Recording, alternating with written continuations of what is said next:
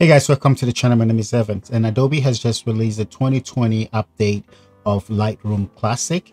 It's now called Lightroom 10. Basically, it was just released a day ago and we're going to take a look at some of the new features that has been added on. I'm going to talk about three main key features because those are the ones that I'm really interested in. Those are the only ones that have really meaningful changes to it.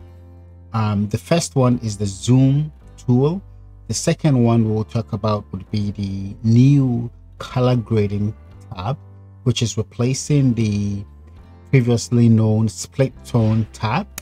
And the other one, really not an upgrade, but basically it relates to doing an upgrade. When you do the upgrade and you are upgrading your catalog, you now have the option to name that new upgraded catalog with more flexibility. So I'm not really going to dwell much on that. I'm going to focus on the two main key features, the enhanced zoom tool and the all new color tab. So let's jump into Lightroom right away and take a look at some of these new changes. Okay, so here we are in Lightroom. Um, the first thing I want to show you guys is let's head over to the develop tab. We're already in here. And I want to talk about first the zoom tool. So by default when you are in the develop tab or in lightroom you know you have that zoom tool. And we have always been able to click and zoom in and stuff like that. And if you look out here now you have a couple of more options. You've always had the fit option and the percentages but now you can also drop down here and do fill which will zoom in that way. And you also have the 100 percent right? And then you can always hold down the space bar and pan around. You can also drag and drop in the navigator here and go move around where your focus want to be. Uh, now you also have this percentage drop down. So if I click on 25 percent it's going to zoom in to 25 percent but you can also click on this drop down and select percentage value. So this percentage value once you select that that would be what it will be showing down here up here uh, so you can go back to it 100% you can go to fill or you can go to fit right? And there is also a few new enhancements. If you hold down the shift key you can do scrub zoom. It's basically wherever you click you can zoom in to that spot right? So you can just hold down the control key as well and drag a box around the area where you want to zoom to and it will zoom there and you can see we are now we are 280 something percent. So if i click hold down the control key and drag the box around the eyes you're going to be zoomed in closer into the eyes. So based on the size of the box will determine the percentage of the zoom right so if I click a bigger box, I'm going to zoom in less. If I click a smaller box, like in this case of the face, I'm just click the small box around the face, then I'm going to zooming in around 50%. So that's basically the enhancements done to the zoom tool in Lightroom. The next tool I want to talk about, let me just pick another different image and maybe we can talk about the next tool.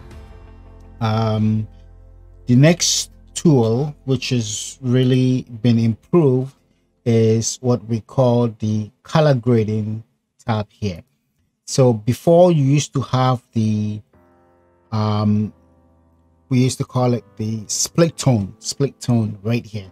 Now split tone is gone and it's been replaced by color grading and I'm so happy with this feature. It's, this is a feature that I've been using in Capture One for a while and I like it because it gives you final control of the color grading process. And now Adobe has added that to Lightroom. Um, I'm going to go ahead and now you have the three color cycles right here and you can display these in different ways. So you have all three showing your shadows, your midtones, and your highlights you can also show individual curves this is my shadows curve this is your midtones and this is your highlights.